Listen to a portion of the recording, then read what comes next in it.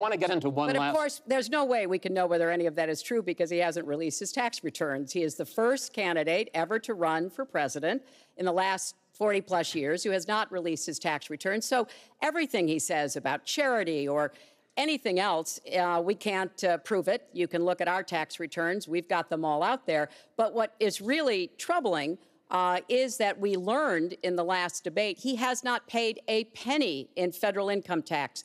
And we were talking about immigrants a few minutes ago, Chris.